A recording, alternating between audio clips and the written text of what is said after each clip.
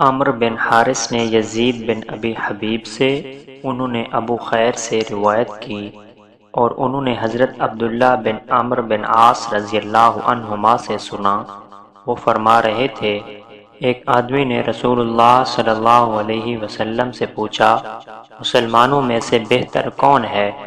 آپ صلی اللہ علیہ وسلم نے فرمایا، جس کی زبان اور ہاتھ سے دیگر مسلمان امن میں ہوں۔